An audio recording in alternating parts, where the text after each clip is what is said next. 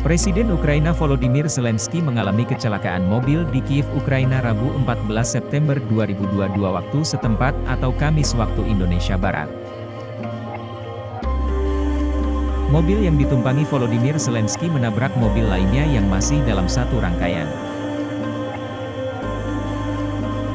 Sergei Nikiforov, juru bicara Volodymyr Zelensky, mengatakan bahwa kecelakaan itu terjadi di Kiev dan dia diperiksa oleh dokter yang bepergian bersamanya.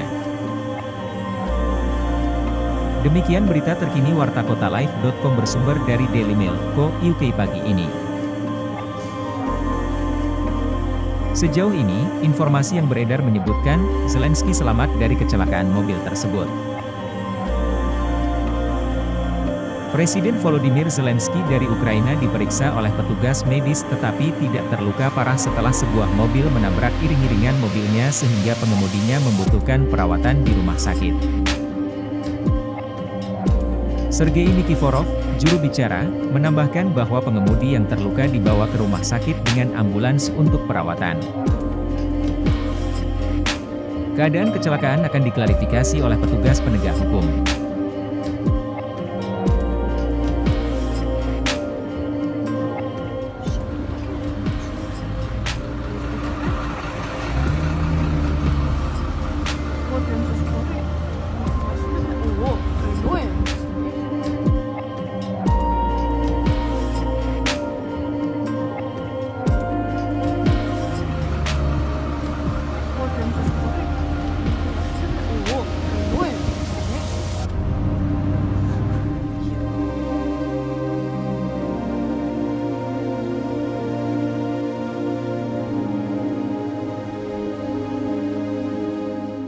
Terima kasih sudah nonton.